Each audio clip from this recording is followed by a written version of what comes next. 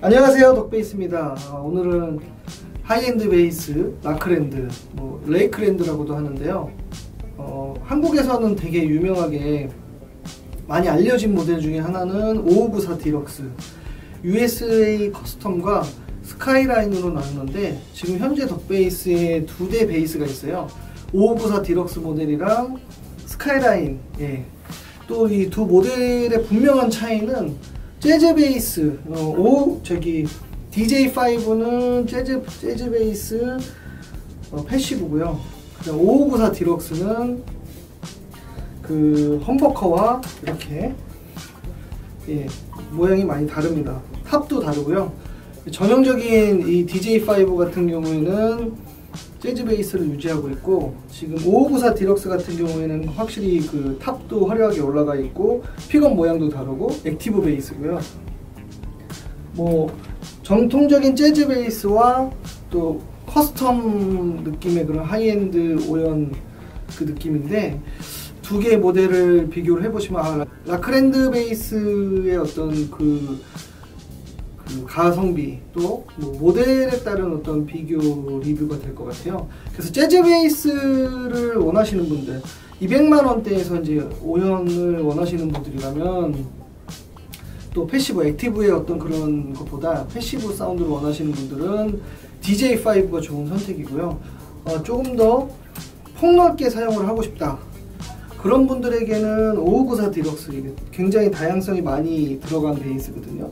뭐 픽업의 방향이 60년대, 70년대 다 나오고요. 뭐 Precision 스타일, 뭐 PJ 스타일, 뭐 재즈 스타일 모든 게 다 가능한 그런 악기입니다. 그렇지만 뭐 그 재즈 베이스에서 나오는 그 느낌이랑은 좀 다르기 때문에 어, 두 개의 레이크랜드 베이스를 주로 많이 찾는 분들은 5594 디럭스를 많이 찾는데 저는 개인적으로 조 오스본 모델과 이 DJ5 모델도 상당히 우수한 것 같아요.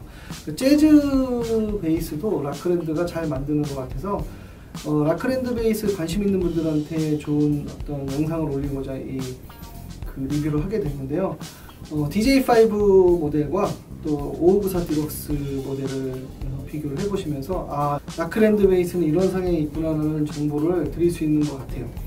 어, 사운드 샘플 들어보시고 또 악기가 궁금하신 분들은 방문하셔가지고 테스트 하실 수 있으니까 연락 주시면 덕베이스에서 편안하게 테스트 할 수 있습니다. 감사합니다